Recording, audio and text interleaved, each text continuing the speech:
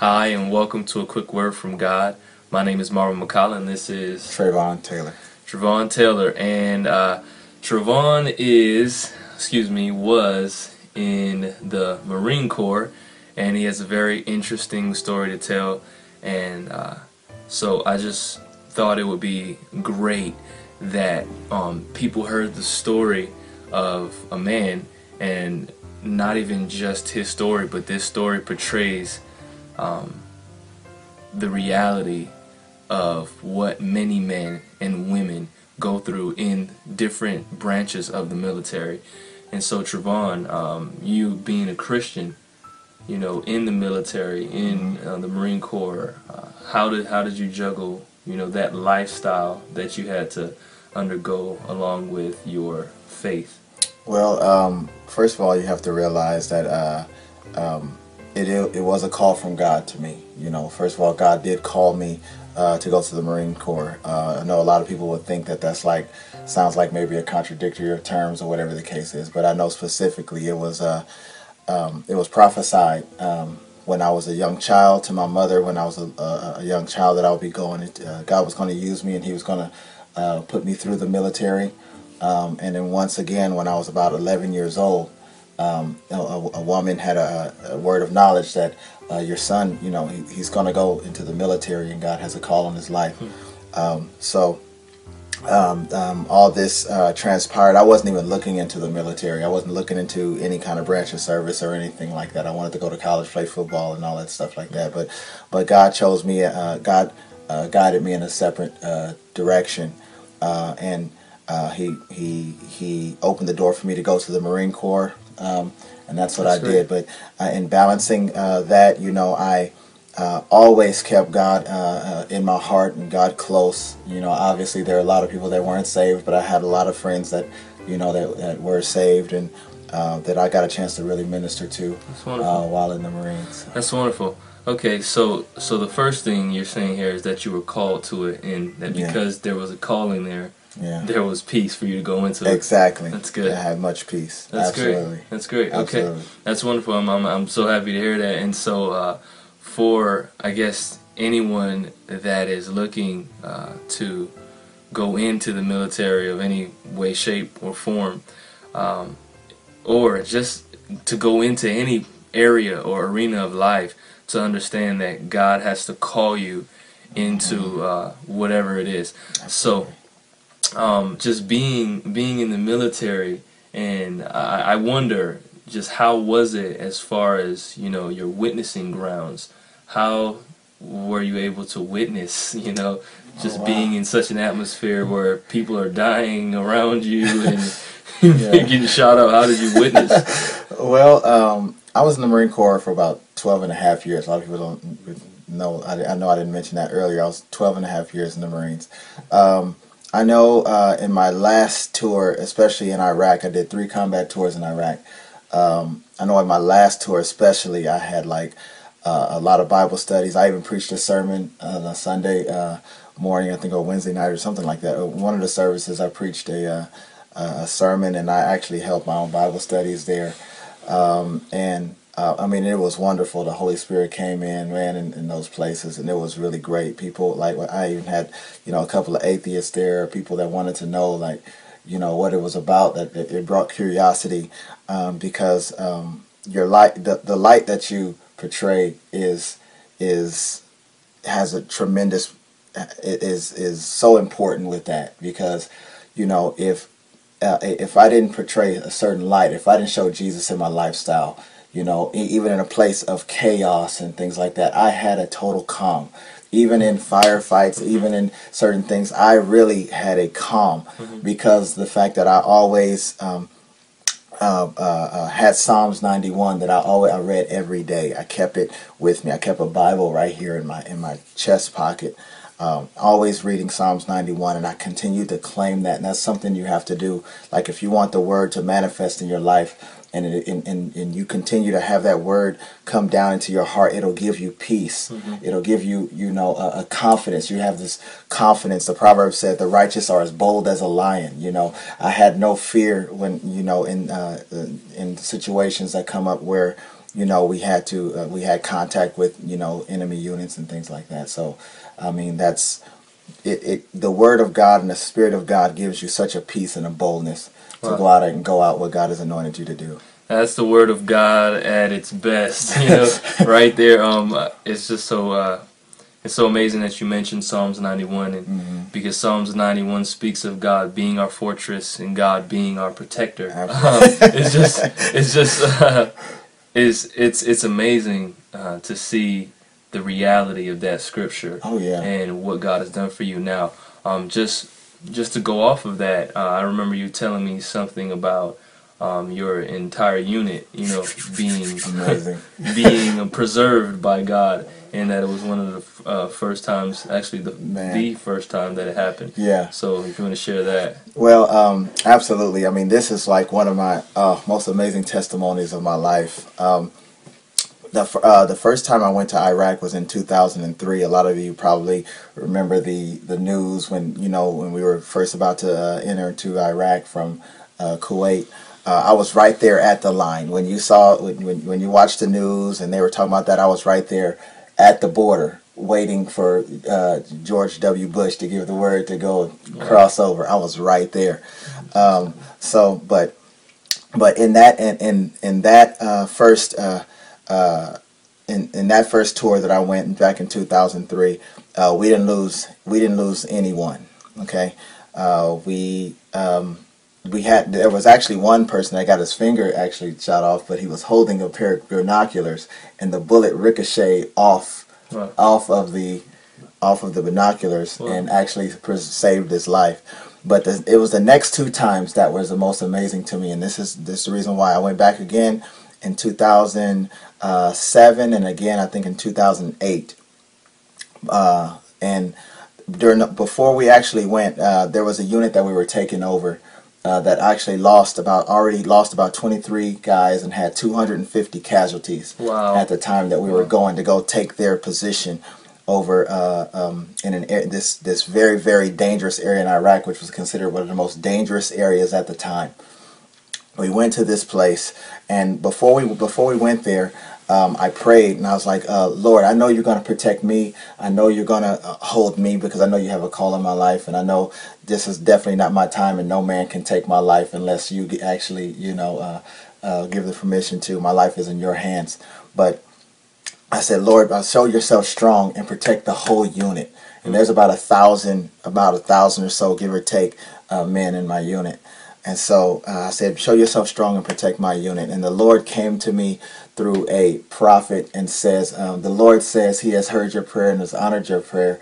And he says, uh, um, 1-3, the name of the unit was 1-3, 1st Battalion, 3rd Marines, based out of Hawaii. You Marines out there will know probably exactly what I'm talking about. I'm sure you have some Marines probably watching this. But uh, 1-3 will be the unit that will stand, is what she says. And I was, I was like, wow. I actually wrote a letter to my commanding officer, an anonymous letter saying that the Lord says that no one will, will, be, uh, will, will die in this, in this uh, unit. Everyone will come home. And so this has not happened in this area. Now this is a very dangerous area. They've already lost 23 Marines, 250 casualties.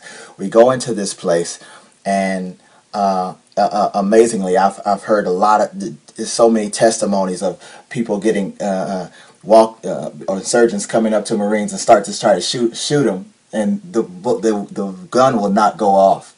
And so, I mean, I've heard these testimonies and things like that. These things were going on during that time.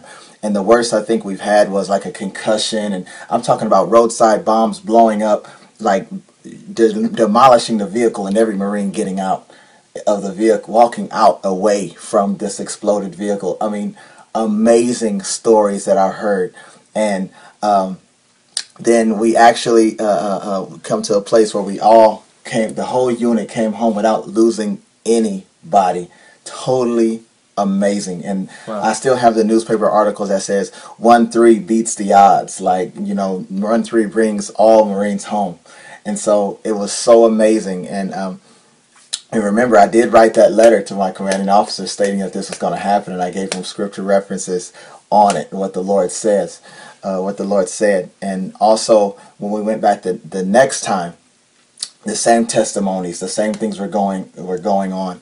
Uh, and it was just so absolutely amazing on how God did that, and uh, uh, it's I just I just praise God for that on how God did that, and uh, uh, it's I just I just praise God for that. Like if you I'm telling you, if you if you the, the word of God is true. The word of God is so powerful. There's nothing that can penetrate the blood of Jesus. I don't care that the word of God says, though the yea, though I walk through the valley of the shadow of death, and you cannot get any closer right. than that. yea, though I walk through the valley of the shadow of death, it says, I will fear no right. evil, for thou art with me. You have to understand and know that that's true. When you have that in your heart, there's nothing that can penetrate the power of yeah. the Word of God. Yeah. It is true, it is powerful, and it will change your life, and it will be a strong testimony to everyone around you. Yeah. To everyone around you.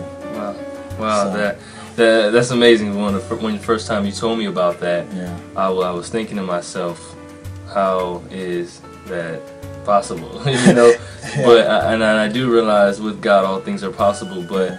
Um, I can just remember seeing a lot of different things, and I've never been close to war. I've mm-hmm. never known what it was like.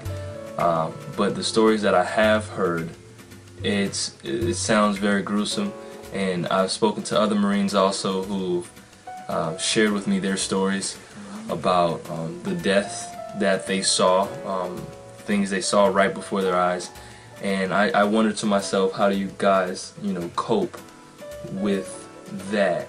That aspect of, of war, of seeing, you know, mm-hmm. people die in front of you, having to yourself um, take lives, you know, mm-hmm. and so how how how do you cope with that, you know, with with God, you know, what is it that you know, the Word of God says, "The Lord will give you peace."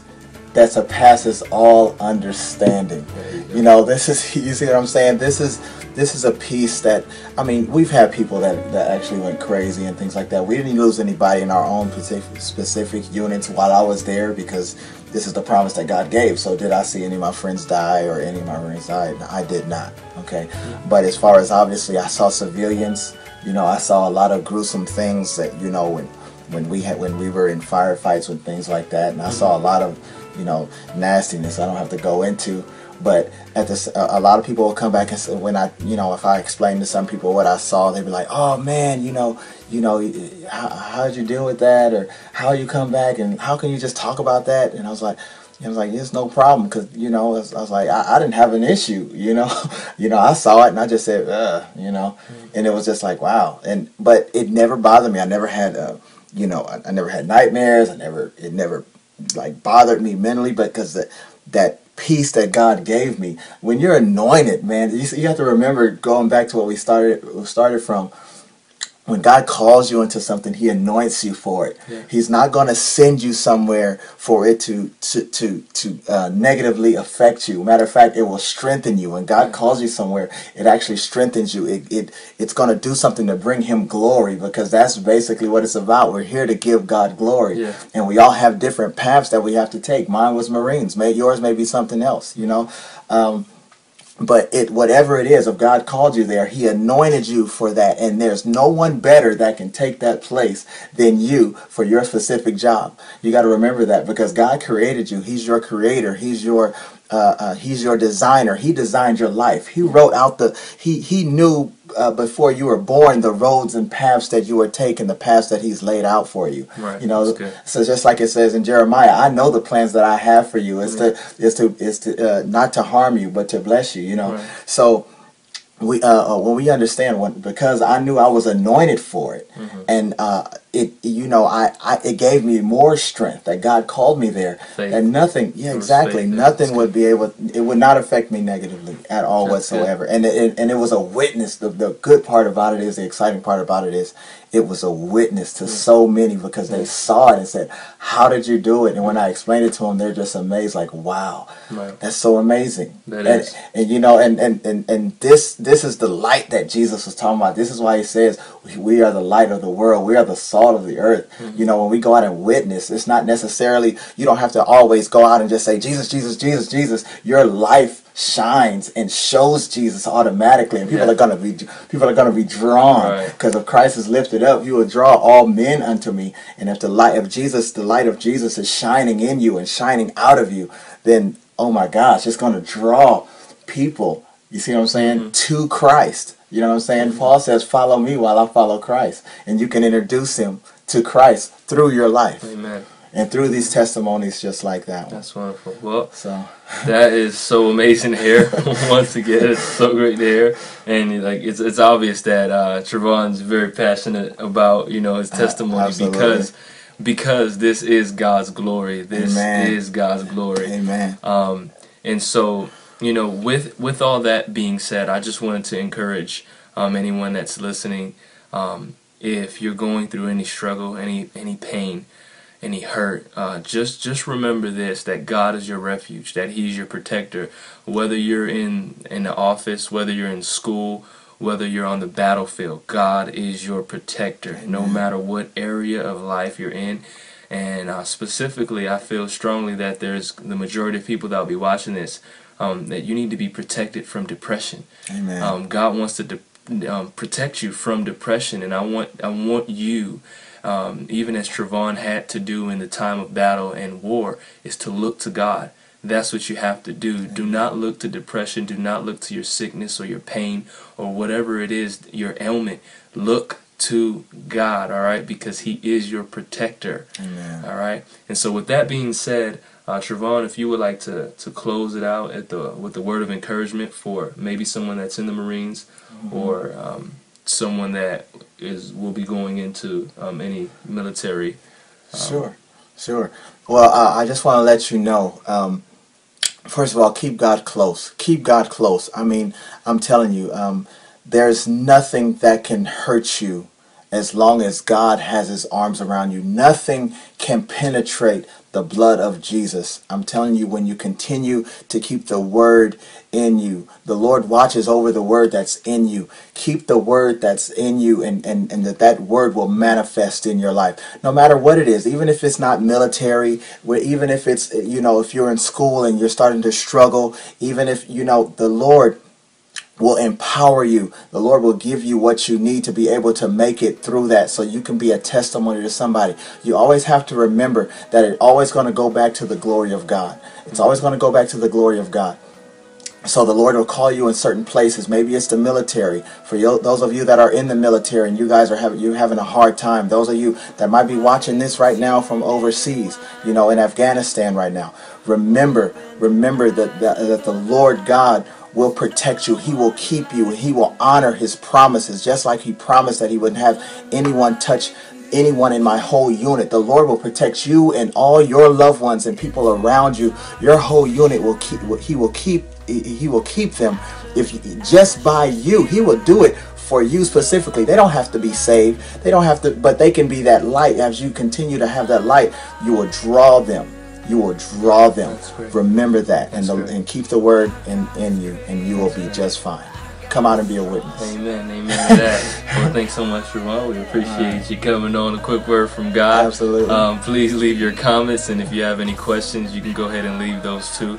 Um, thank you so much for listening. God bless you.